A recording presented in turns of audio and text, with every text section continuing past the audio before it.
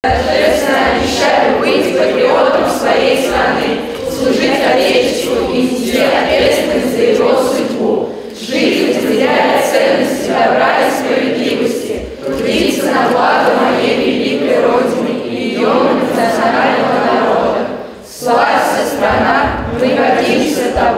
Отличники, активисты, участники социально важных проектов. На верность России присягнули сегодня 22, пусть и юных, но теперь уже полноценных гражданина страны. Вместе со своим главным документом ребята получили в подарок Конституцию России и памятные сувениры от движения первых. Россия – это наша общая родина, а Рязанская область – это наш дом, это наш родной край.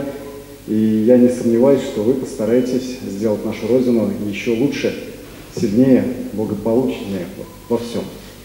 Уже сейчас, на самом деле, каждый из вас вносит свой серьезный вклад. Губернатор Рязанской области Павел Малков в своем напутственном слове пожелал школьникам успехов в новом учебном году. Кстати, такое вот торжественное вручение паспортов проходит в разных регионах нашей страны. «Мы, граждане России» – проект движения первых. По мнению активистов, мероприятие призвано сформировать чувство идентичности и сопричастности с судьбой государства у подрастающего поколения. Кристина Бочкарева, Михаил Лазуткин, телекомпания «Город».